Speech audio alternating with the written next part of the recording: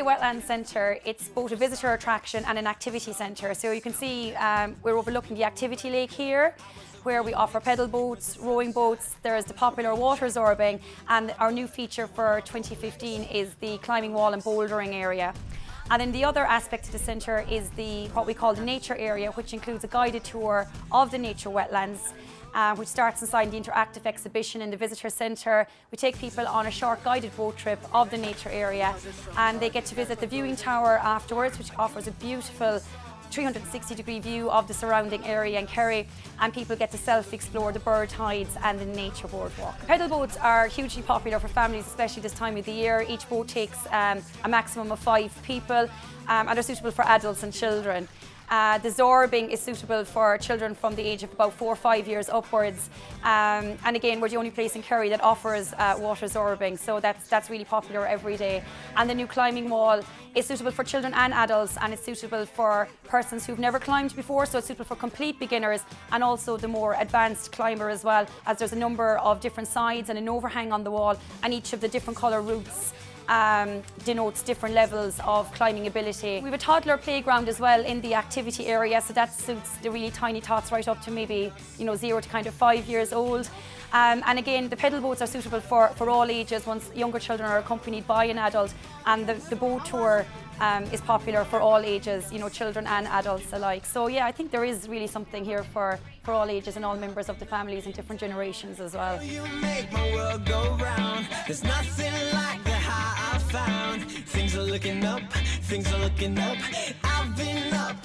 The centre was built um, overlooking the Greater Tralee Bay, so the centre does act as a microcosm of what the Greater Tralee Bay has to offer, which is a special area of conservation.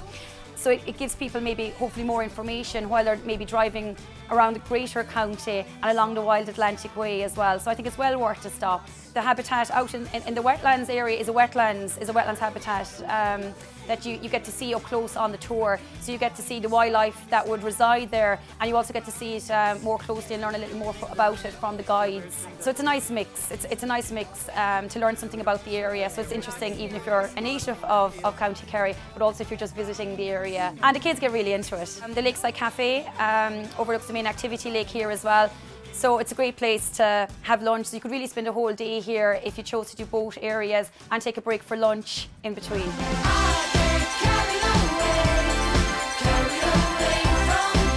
My favourite was definitely zorbing. What? The zorbing and the climbing. I would rate it 1,000 out of 1,000. like, we're ranging from just a teenager down to a one year old, and there's something for all of them to do. I mean, you all had different favourite parts, but um, no, there's something for everyone, everyone, and even the moms and dads for coffees.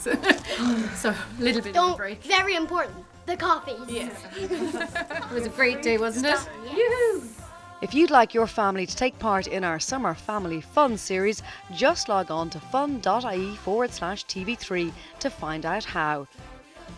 And if you're staying in Kerry this summer, then we recommend the Kenmare Bay Hotel and Resort. With family hotel rooms, luxury lodges, and holiday homes, it caters for all family types. The hotel also has a pool as well as a children's play area to help keep the little ones occupied. They also have some great offers for families over the summer.